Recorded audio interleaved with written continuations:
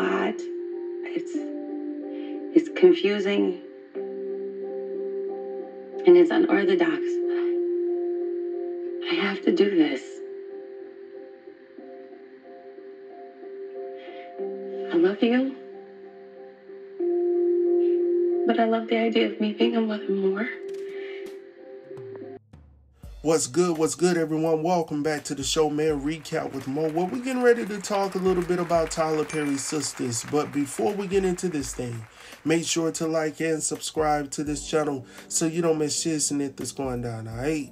So, as I conveyed to you guys recently in my last video on Tyler Perry's Sistas for season seven, the finale, I told you guys that we we were going to have this discussion, alright? And I wanted to talk about the character Sabrina and her boyfriend Rich, all right? And then I guess we'll talk a little bit about Damani, right? Now, my thing is there's this thing that's going on and it it may have been around for for a while. I'm not sure. I'm just noticing a lot more now that there are a lot of women who are willing to have the baby but not have a man involved with her nor the baby. So, for example, Sabrina wants to have a child, but she doesn't care to have the man in that child's life per se, right? So, in episode number what, 21, when she was in the hospital waiting room and we saw Maurice talking to her, Damani was there, and Maurice brought up the topic about, you know, the father spending time with the child or whatnot, whoop. and Sabrina tells Maurice that no, the man is not going to be involved with the child at all, and he needs to understand that. And I think that I mentioned that Damani, from his expression, you could tell that he had a difference of opinion. But for Sabrina, she only sees him as a sperm donor, and that's it, no attachment. And I'm sitting here like, how in the heck can you do that? And I'm not trying to be judgmental at all. Trust and believe. I'm just honestly asking your opinions on this topic, man, because I'm seeing more and more women going out here doing this. They will prefer to go to the sperm donor instead. What's the attorney that was talking about she would never date a bus driver, but if he owned a bus company or owned the bus or something like that, that she would actually, you know, date him at that moment? She went to a sperm bank, I believe. And I'm like, as successful as she is, dang, she can't find a man. Or or what they say on coming to America, I, I need a man to satisfy me. right?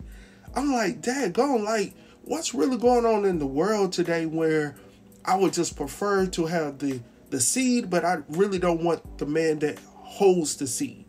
That's like me saying, well, I want the egg, but I don't want the woman with the egg. Like, what the heck? Like, it makes no sense in my mind, y'all. It, it's, it's, it's crazy to me. But I know for some people it works. But I honestly want to know your opinion because for me, I've always seen this traditional path and let me just say, I know tradition doesn't always float for everyone. All right. So I'm just speaking for myself on this on this topic. All right. So for me, I've always envisioned my wife and my kids as one unit. But then you have some people who start off as a unit and they separate or they divorce, right? And then they have the option of spending time with that child, even though they're no longer together as one unit. But then you have this category where I'm choosing to solely be by myself. I don't want the man at all. I just want what he can give me. And I don't want any attachments. And for me, I'm like, man, that's that's different. Because as I'm watching the show and I'm looking at the different discussions that's going on in the comments, you know, it's intriguing to me because, you know, that question never comes up. Like, why is she choosing to be by herself? Why is she choosing to have this baby alone? And then I'm thinking about the financial piece of all of this. All right, so you're raising this child by yourself, and you chose that. It wasn't like y'all just fell apart, but you chose this. And now, what if something happens financially? What do you do?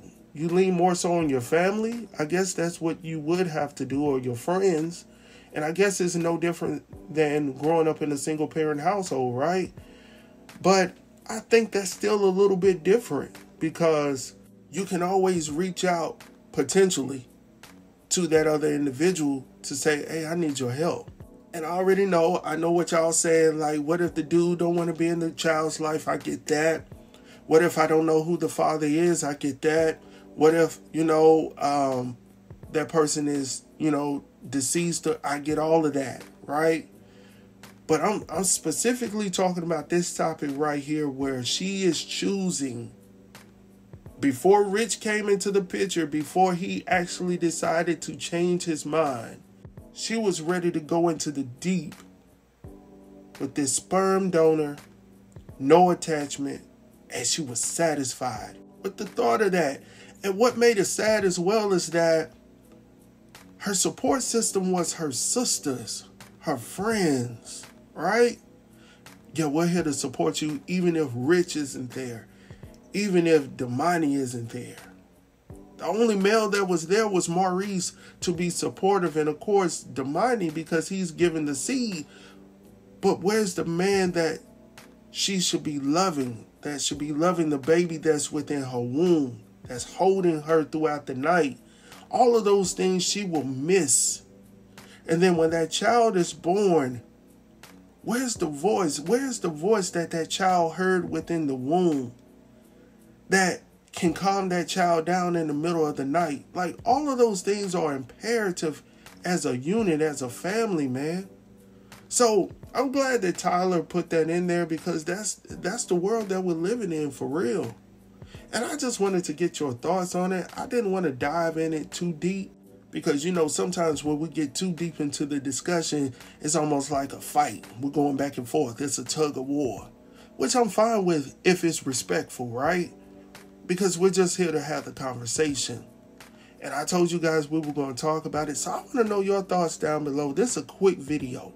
I just want to know your thoughts. How did you feel about, you know, her making this decision on her own? You may be fine with it. You may see nothing wrong with it. And then there may be some who say, no, I absolutely disagree with what she's doing with herself, how she decided to make this choice and, and all of those things. So I get it.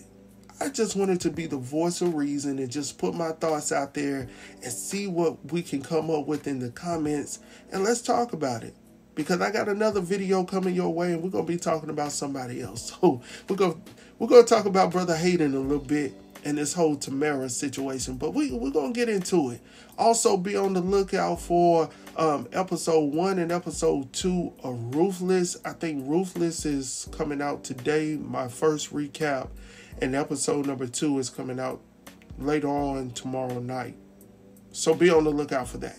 With that being said, man, let me get up out of here. Make sure to like and subscribe to this channel so you don't miss shiznit that's going down, man. I'm going to talk to y'all soon, man. Peace.